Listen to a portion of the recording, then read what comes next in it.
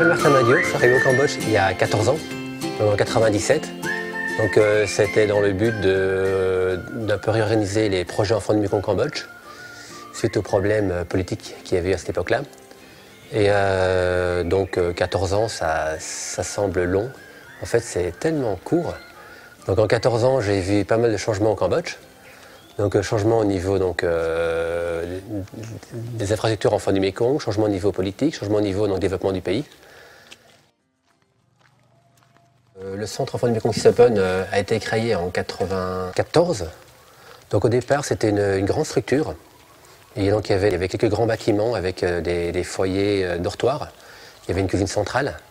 Et en 87, quand je suis arrivé, le but c'était un peu casser cette structure un peu impersonnelle et créer plutôt des foyers familiaux.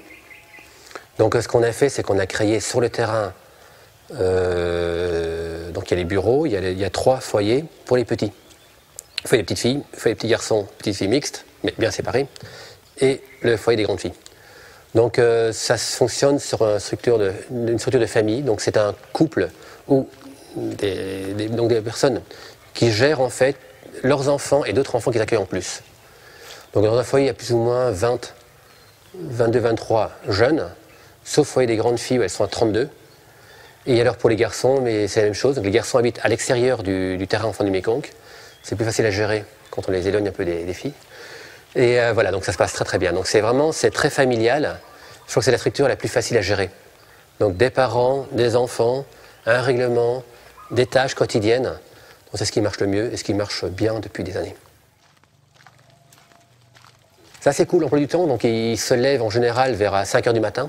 Donc on allume le générateur, donc il y a du courant. Ils prennent leur douche, ils se lavent, ils se brossent les dents. Donc à 5h30, on prend les présences. Et à 6 heures commencent les premiers cours. Donc les jeunes ont cours à la fois enfants du Mékong et à l'école de l'État.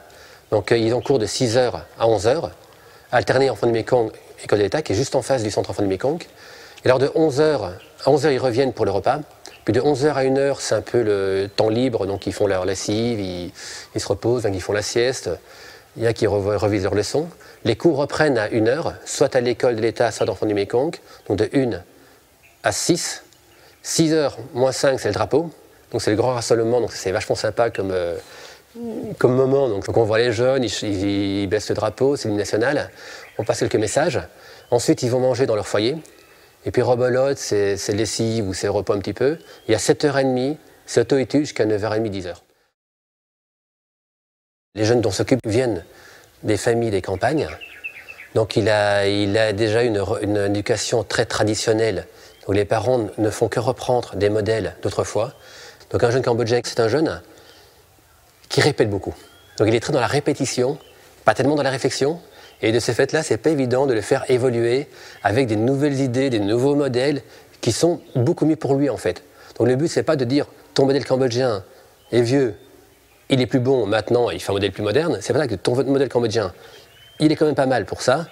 Mais si tu n'évolues pas, tu vois, c'est pas bon pour toi. Dans la famille traditionnelle, le garçon va à l'école, tant qu'il n'est pas indispensable dans les champs, la fille, c'est la première personne, qu'on va sacrifier. Et trop souvent, on se retrouve avec cette réponse-là, avec un Cambodge quand les Européens ne comprennent pas, c'est oui, mais chez nous, au Cambodge, c'est comme ça. Les familles qui sont prioritaires, c'est d'abord, un, les enfants, donc orphelins.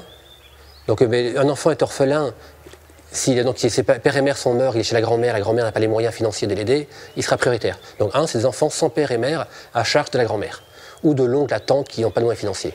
Ensuite, on prend des jeunes qui ont père et mère, mais le père est violent.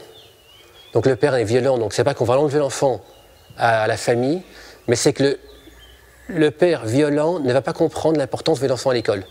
Il y a également pas mal de situations familiales où c'est que le père a une maîtresse, le père donc euh, entretient quelqu'un d'autre.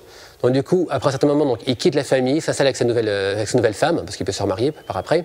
Donc la maman, financièrement, s'en sort pas. Donc ce qu'elle fait, donc elle laisse ses enfants aux voisins ou à la grand-mère. Elle part en Thaïlande pour chercher un boulot. Et souvent, elle envoie trop peu d'argent à la grand-mère. La grand-mère s'en sort pas. Qu'est-ce qu'elle fait Vendre des petits gâteaux. Elle demande aux enfants de travailler. Et euh, bah, ces enfants, pareil, qui viennent nous demander en fait de, l'aide également.